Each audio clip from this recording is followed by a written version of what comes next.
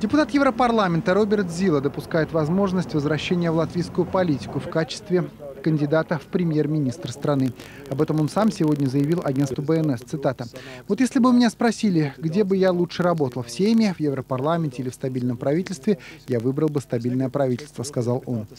По словам Зилы, его привлекла бы возможность работать в кабинете министров, который продержится не менее четырех лет. Для этого очень важно пользоваться поддержкой своей политической силы, то есть весу Латвии, которая защитила бы министра даже в том случае, если он, Зила, продвигал бы непопулярные меры.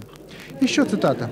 Трудно сказать, как пойдут дела у премьера Валдиса Домбровскиса. Если он действительно не проработает все три года, то, возможно, при создании следующей коалиции будет разворот в сторону центра согласия, который сейчас не слишком желателен. Однако я надеюсь, что этого не произойдет, сказал Зила. От себя добавим, что Роберт Зила в предыдущих правительствах уже занимал посты министра финансов и министра сообщения. Кстати, партия господина Зила намерена в ближайшие дни потратить на выявление депутатов, которые подписались за проведение референдума по приданию русскому языку статуса второго государственного